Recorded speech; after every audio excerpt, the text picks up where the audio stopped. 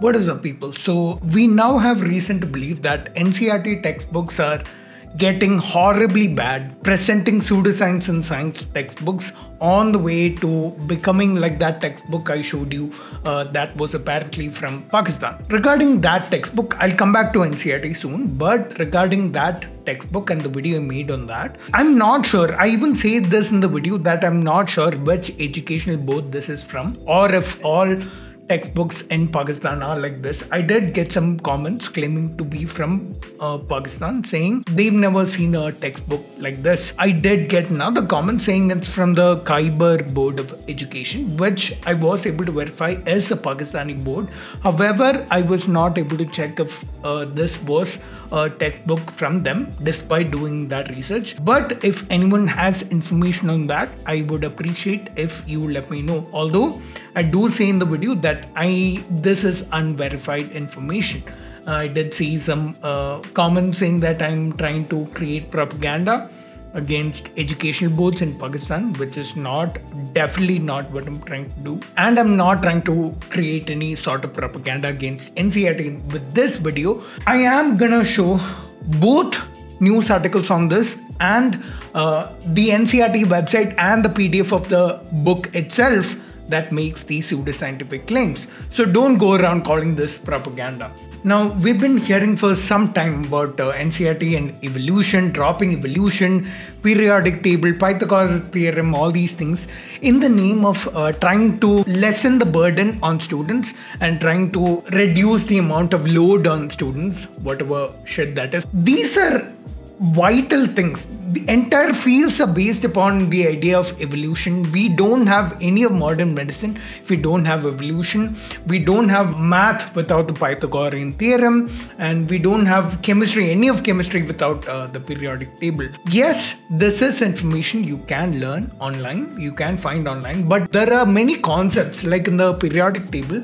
You have, uh, by the way, you can look up this article. This is from uh, Frontline you can check it out. The periodic table, although on the surface level, uh, it's a, a, list of elements to be memorized, you understand a lot of things about uh, electrons and properties of elements down the column and across the row and why that is so, like electrons and shells and configurations. You learn about all that along with the periodic table. So removing the periodic table doesn't help you in any way. Uh, need, same goes for evolution. I've made a video on that, the Pythagorean theorem, all these things. I do suspect, although I'm not sure, I do suspect this is a move to try and bring uh, Indian Vedic knowledge and religious ideas and also pseudoscientific knowledge into uh, textbooks uh, I do feel this is a precursor step to that, which is which would mean we are on the way to being like that textbook I showed you in the uh, Pakistani textbook video. Now, what information do I have uh, other than just these articles? Let's look at the NCERT textbook itself.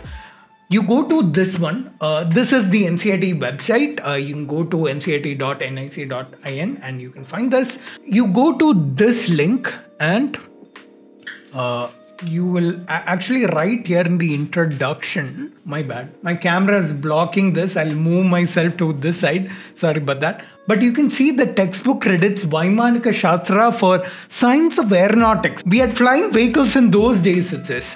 What the hell is this? And uh, I think, uh, yeah, the textbook throughout calls it Bharat, which is not a huge deal, but uh, yeah, it's uh, trying to kiss up to Modi over here uh, in many parts. And uh, yeah i think that makes it very biased. Like it's giving information in a very biased manner. Like anyone who doesn't already cater to these biases or is already biased this way is able to see this. Uh, but that's what's been going on. Yeah man. I'm really scared for the uh, state of education in this country. And yes this does call for a longer video uh, which i'll do on the main channel regarding the state of education in the country i did forget to mention one thing so all these things are not really part of textbooks these are modules that the ncert has released now these are the modules that the NCERT has released, and they're like uh, parallel to the lectures. The teachers are supposed to present these in class. So I'm I'm not sure how much of these will eventually uh, make its way into the the actual textbooks and the curriculum. But yeah, these are modules, and this is information I actually got from uh, someone, a teacher who does teach uh, using these NCERT textbooks. So uh, it's starting to get really biased, and I'm scared it's going down the same path as those Pakistani textbooks. Now, um, yeah, I'm not uh, very sure about those textbooks either. Like, uh, I don't have information. Despite searching, I don't have inf- information on where they're from. So, if you don't know about those, tell me in the comments below. But um, yeah, this NCERT thing, I just showed you actual evidence, uh, uh stuff from the NCERT website itself. Uh, yeah, man. These are textbooks I learned from back in school. Uh, and this is what's happening. So, don't know what to think, but what do you think? Let me know below. And that's the end of this video. I'll see you in the next one.